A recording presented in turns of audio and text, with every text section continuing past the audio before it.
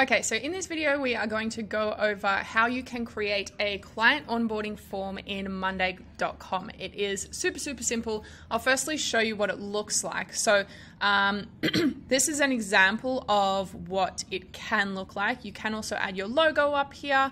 Um, basically, it's just a form, um, and once somebody fills in all of the details um, and hits submit, then it creates a task in monday.com and then you can go ahead and uh, set up automation so that it automatically assigns that task to yourself as the business owner or to your business manager or the project manager whoever it will be uh, based on what is filled in in here.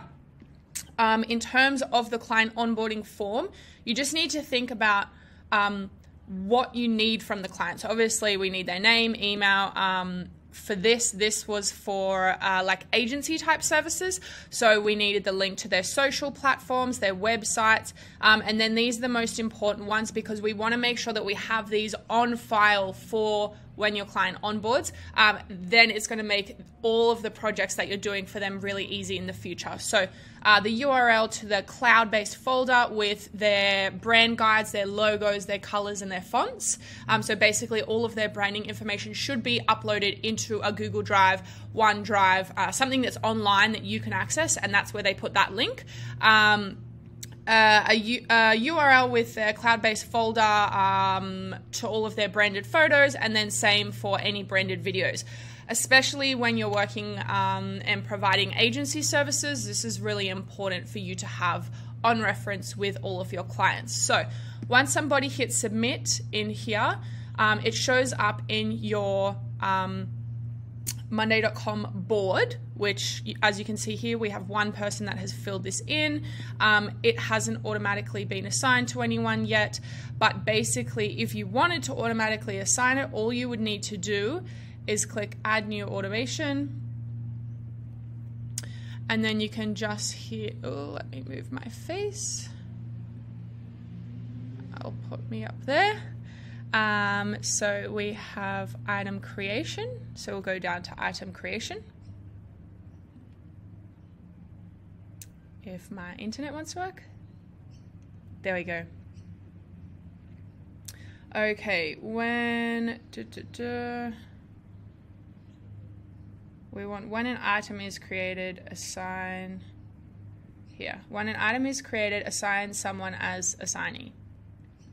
So we can use this template. So when a new item is created, that's basically when somebody fills in this form, um, they're going to then assign, um,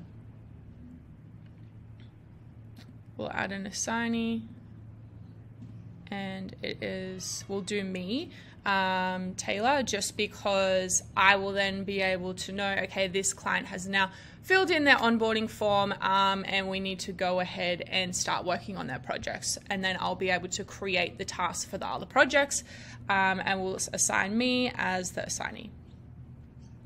Create automation. Um, oh, this column no longer exists. Okay, cool. So if you encounter this problem, um, oh, it does exist. It's right here. Hmm. Interesting. Anyway, I'm not going to troubleshoot that. Yours should not um, do that because um, it will be a brand new board.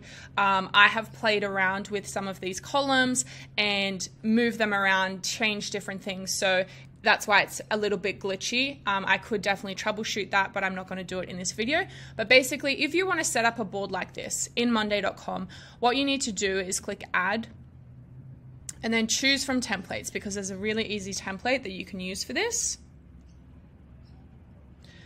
Now we want to do, do, do, do, I think it's in content production, creative process. We want a creative request.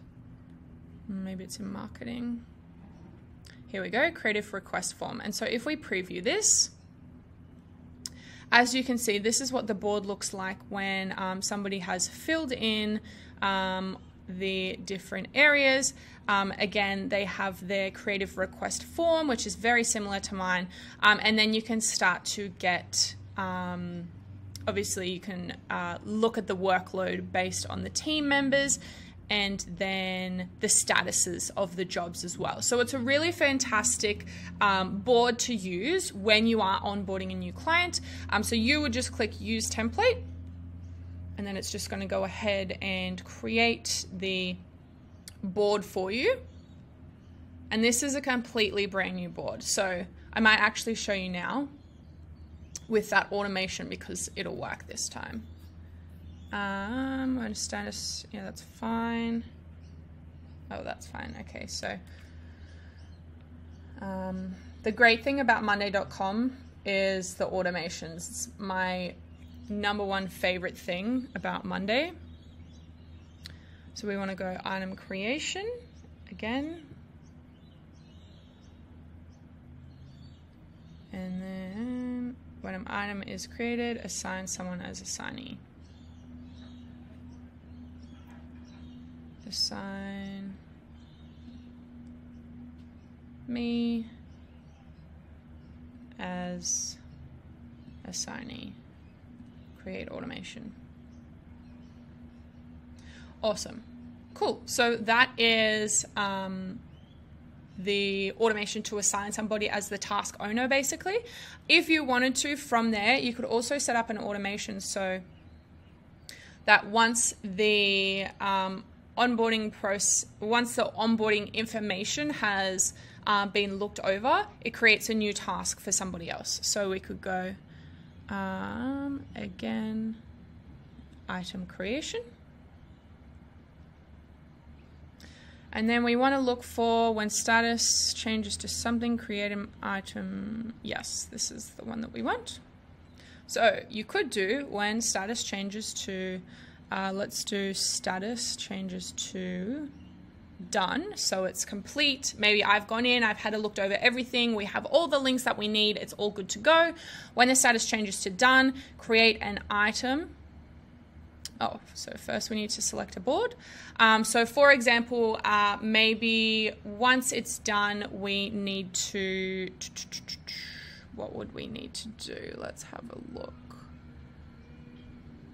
Maybe it's going to create a recurring task. So this is a consulting client that I work with. Um, it might create a recurring task in that board. Um, so obviously you have the different groups that you can choose from. Um, the only group that we have for this particular client is the biweekly content calendar. Um, maybe in the biweekly content calendar, we're also going to create um, a YouTube video. So um, we could put start SEO research for you. Oops. YouTube video. Um, for that content calendar's YouTube video. Now we can add a project manager. Um, we can add a creative lead um, because those are two columns that I have set up in that board. Um, we've got statuses, awesome. And then we want to add, what can we add? we can link the um, I think we want to link uh, the description. It'll basically give them the information from the onboarding form. And then you can click done and create automation.